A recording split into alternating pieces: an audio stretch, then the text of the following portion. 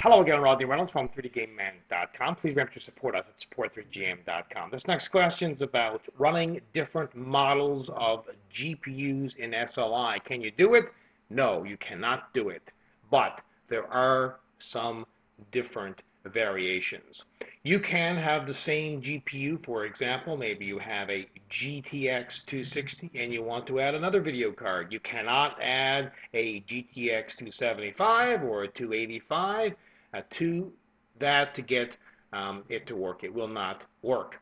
But what you can do, for example, is get a different brand of a, for example, GTX 260. You could get, for example, maybe you have an EVGA, or maybe you can get an XFX.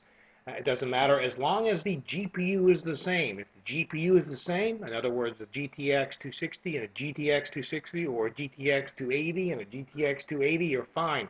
It doesn't matter about um, being a different brand or it doesn't matter if, for example, um, the memory is slower or faster or the GPU is slower or faster and it doesn't matter how much memory you have. The important thing is that the GPU is identical.